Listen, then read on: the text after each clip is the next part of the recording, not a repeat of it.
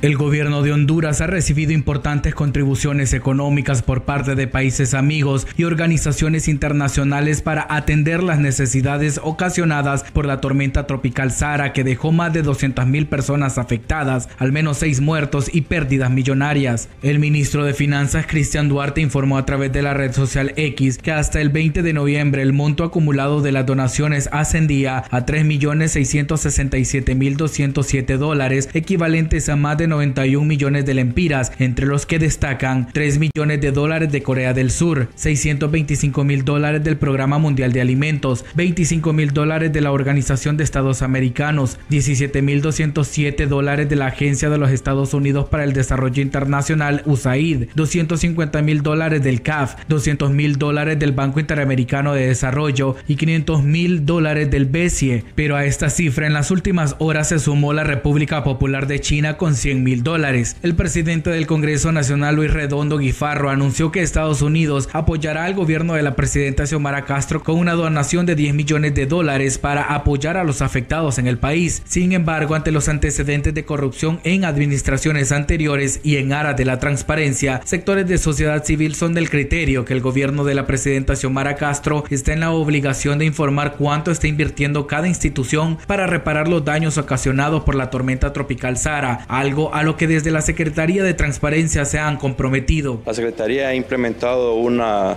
matriz para ejercer veeduría a través de las mesas ciudadanas de transparencia y de esta manera poder garantizar que los recursos lleguen a los más necesitados y al destinatario final. Han implementado manuales y, guías para garantizar que los procesos que se desarrollen en cuanto a adquisiciones y compras sean en el marco de la, de la ley. Cabe señalar que a este apoyo económico se suman donaciones en especie como alimentos, materiales médicos y equipos esenciales provenientes de la Unión Europea y los gobiernos de Alemania y Japón. Para ICN Noticias, Gabriel Ortiz.